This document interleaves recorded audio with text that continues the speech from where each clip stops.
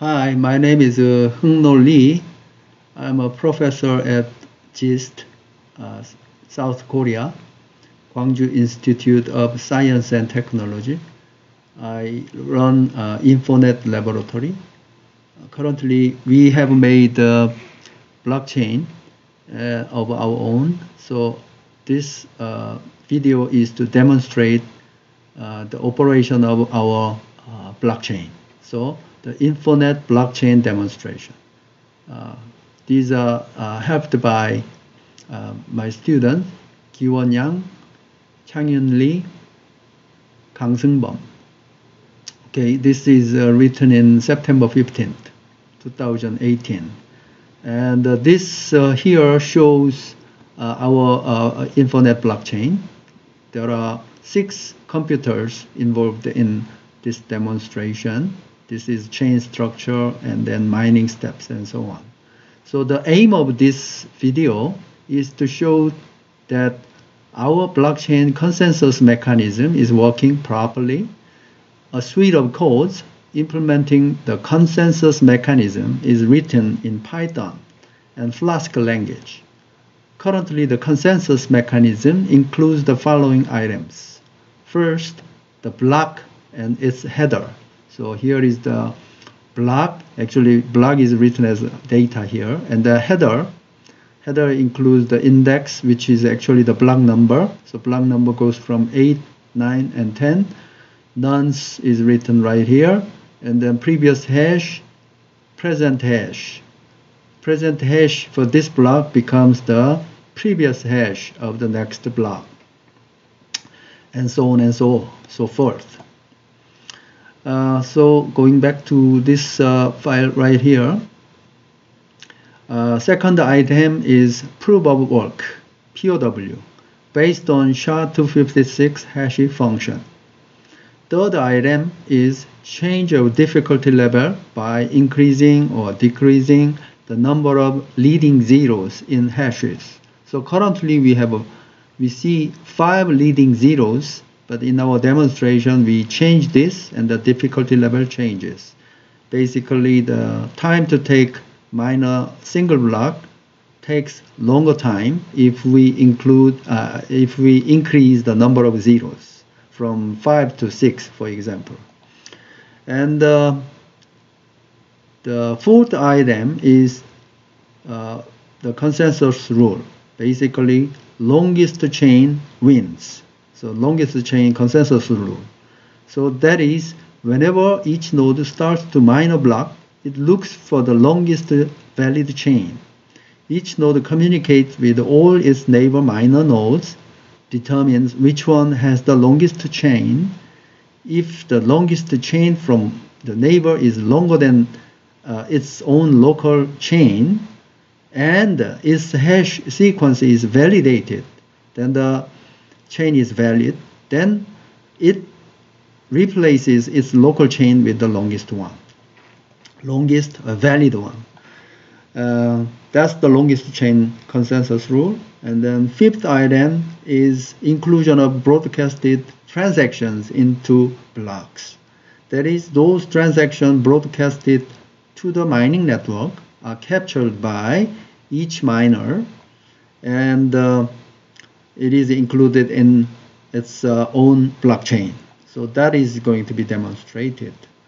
Uh, to this end, we use six computers, as I told you already. Each one has its own IP addresses.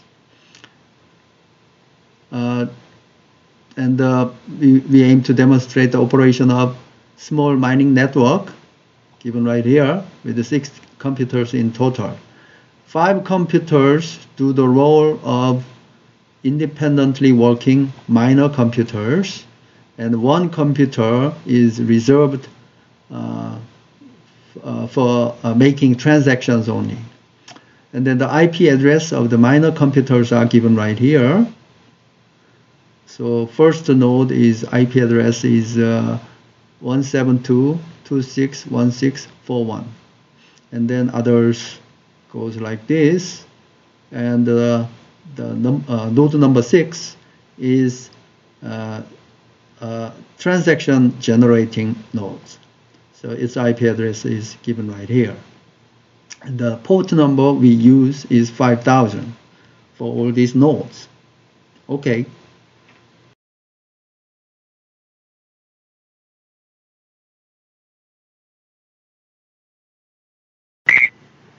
Okay, now this is the script for the working demo on screen. All right, we ran the experimental setup and captured it into a video file. So that video file is going to be replayed on this console. Okay, and uh, first we open up Anaconda console at node number one. IP address is 41. Okay, as you can see 41 here and this is uh, uh, computer node number one's uh, Anaconda console. And then we go to the directory where the blockchain core file is located. And the name of the blockchain core file is this info blockchain 1 pi file 1 dot pi file. And then we issue this command this command right here on this line in the Anaconda console, then the blockchain runs on this node number one, as you can verify it here. So 41 right here. So 40 node number one with the IP, IP address 41 and the port number 5000 is now a blockchain server running the Python script.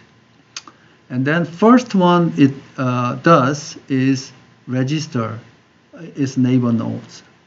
And the second one it does is mining, starts mining. So basically, uh, going back to this script, the computer is running the blockchain core, as we can see from the console, right here.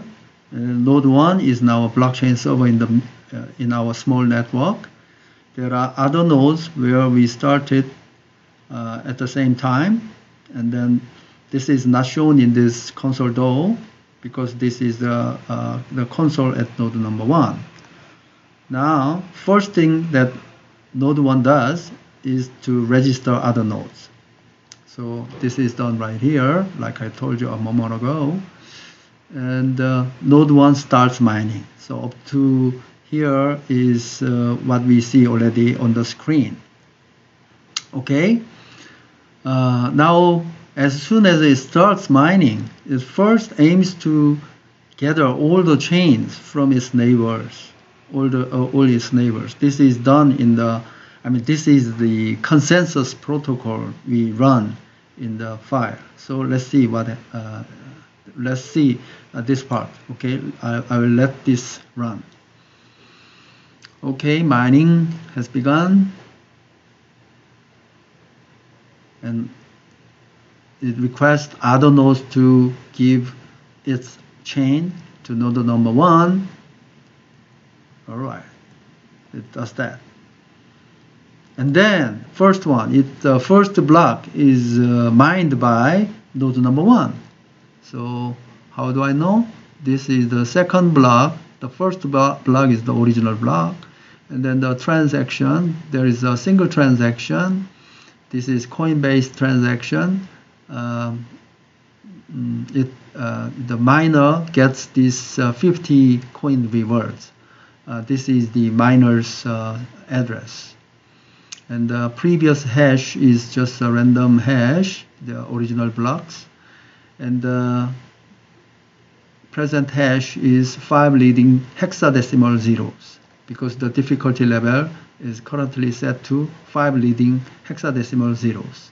And uh, this one has successfully uh, uh, mined the uh, second block.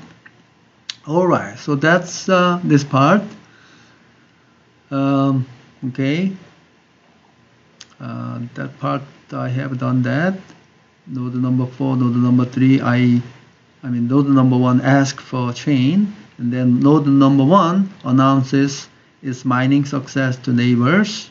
So this is done right here and then other nodes stops mining their current block, accepting this, uh, accepts this, uh, accepts, uh, actually this has to be, no, yes, accept this chain and the start, know, the start mining again uh, to extend this ad adapted chain.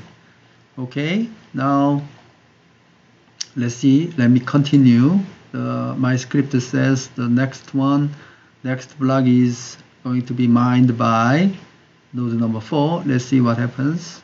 Okay, so node number 4 has mined.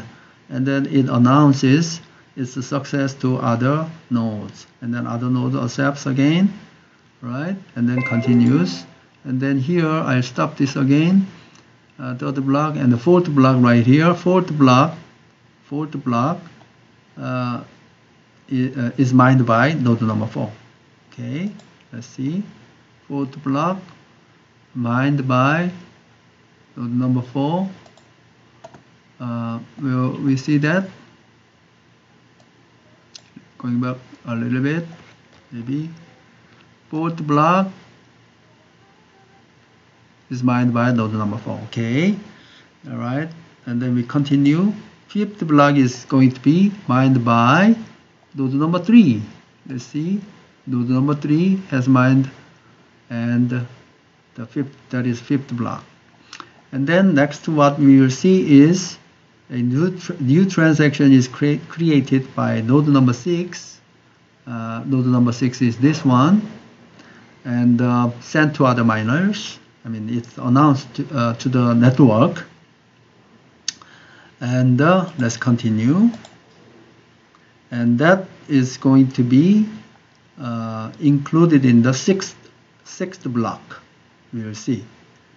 Okay all right let's see it passed uh, a moment, a moment ago it passed. So let's see. Sixth block is right here. Uh, have to go back a little bit. Sixth block and it includes the transaction created by sixth node a moment ago this is the coinbase tra transaction this is uh, transaction, uh, normal transaction. Okay, so we verify that. All right, now let's we continue. Um, on each block, the first transaction is the mining reward of 50 coins. We verified that, paid to miner's address, and then while I'm talking about this, uh, we have seen that that seventh block is mined by node number four 8th block is mined by node number 4 again and the ninth block mined by node number 5 and uh, so here node number 5 okay. So it works right and uh, next what we'll see uh, is basically we run this uh, continuously uh, for more and then uh, up to 30th, 30th block, we uh, run it continuously, and then basically uh, it takes about uh, um, let's see, let's let's continue. All right, so ninth block, mind, tenth block, mind. And so on and so on with the difficult difficulty level of 5 leading zeros 11th block 12th block. It is about uh, 4 seconds between blocks mining time. 16th 18th 19th and so on. So on the average it takes about 4.2 seconds 4.7 seconds to mine a single block at this difficulty level of 5 leading zeros. That's what we are seeing. And this is hexadecimal zeros, remind that. Thus, one more leading zero means that it takes at least 16 times longer than before. Okay, uh, we will change the difficulty level um, a little later. So 27, 29, 30th now we will change the uh, leading uh, zeros to 6 okay so and then up to here it takes about 2.13 uh, seconds and uh, uh, number of block is uh, 30. So time divided by number of blocks will give you 4.0 seconds per block. Okay, so 4.4 seconds per block. And then now we will change uh, the difficulty level to six leading zeros. Uh, uh, uh one uh, zero means, because it's a hexadecimal zero, means uh, 16 times harder to solve the puzzle. So at least it will take 16 more times. So uh, 16 times 4.0 seconds per block now becomes 75 seconds per block. So it, it will take more than a minute to mine a single block. And then that will uh, that you will see uh, now. Okay. okay. By luck, the 31st block was mined very quickly, but this is just by luck. On the average, it will take more than a minute. Okay, so we wait.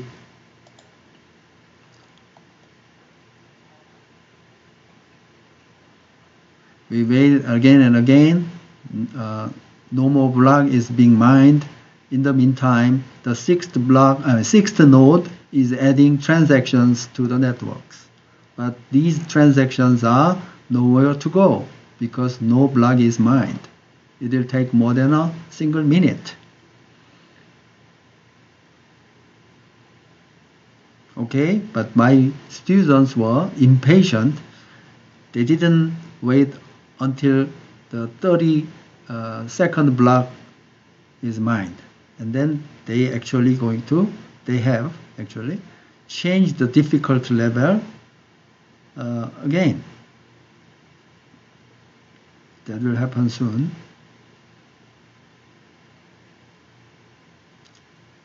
Okay, so they changed uh, the difficulty level to uh, four leading hexadecimal zeros. They were impatient for next block to be mined.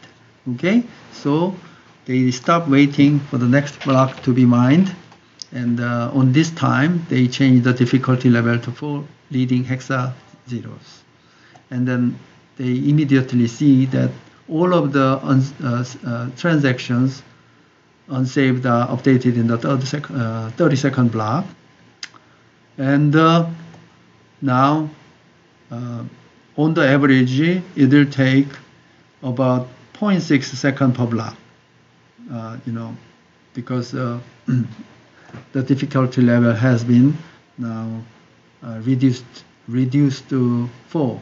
So basically, you uh, you know it gets much easier. So it will take more than uh, it will take uh, about uh, 0.6 second per block. That that's what you will see until uh, this time. So 0436 time. As you can see, the blocks are very quickly mined. And then you will continue to see this until uh, 4 minutes 36 seconds.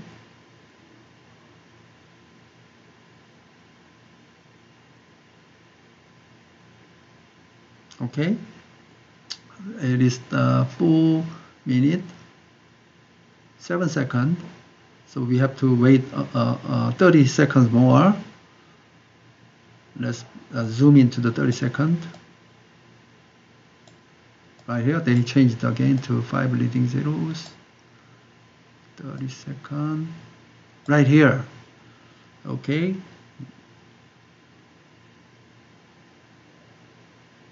Now they change the, the difficulty level to 5 again. It it's uh, 4.7 seconds again. And then it will continue till the end. Okay. Now you are on your own to uh, verify what I have said so far. Thank you very much. Bye bye.